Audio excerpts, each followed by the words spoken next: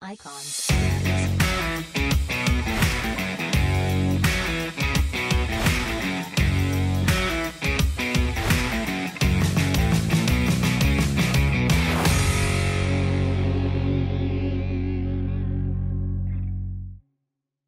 Итак, распаковка. Бензиновый копер Мессер GH70.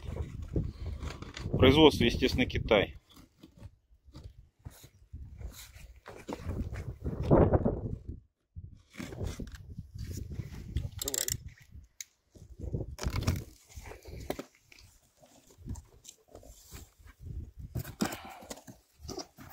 Тихо, тихо, подожди, теперь давай я, Саша.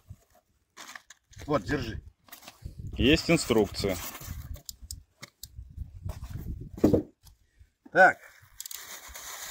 Все в полиэтилене. Ты внутрь можешь заснять вот упаковку? Могу. Снимай. Сейчас я буду доставать. Так, что у нас есть? Есть воронка. Тихо, Саш, Саш, не торопись, Саш. Есть канистра для размешивания. Двухтактный двигатель здесь. Саш, подожди, Саш. Вытаскивал вот всё сюда. Это, наверное, ключи. Это Сейчас ключи. Набор ключей. Покажи телефон, это. Сменные насадки для забивания разных труб. Вот еще. одна. Поменьше и побольше. Это ситечка. Это Сейчас сами. стой. Володь, ты тут? Это, давай его вдвоем, а то я не умею это. Ну, чтобы он вот эта хрень осталась внизу. Вот. Вот мы его достали. Больше ничего тут нет. Вот такая вот штука.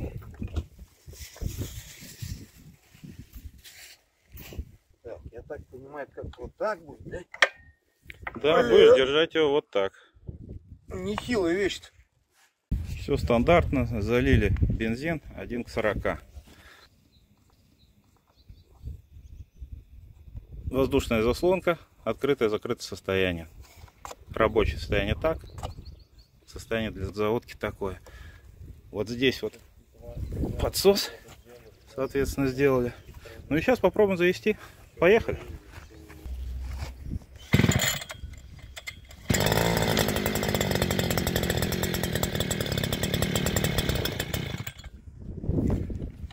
Подсос после этого брать.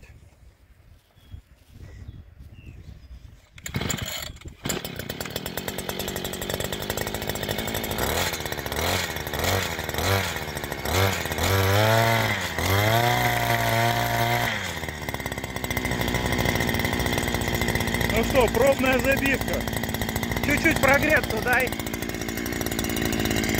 Несколько секунд.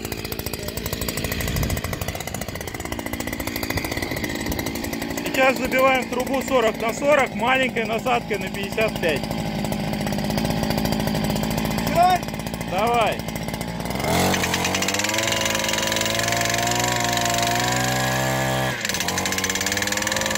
Первый опыт получился не очень. За полминуты забили меньше полметра и разбитая вот эта часть, то есть бьет не всей поверхностью. Сейчас попробуем поменять насадку на большую. Хорошо. Ну, второй опыт.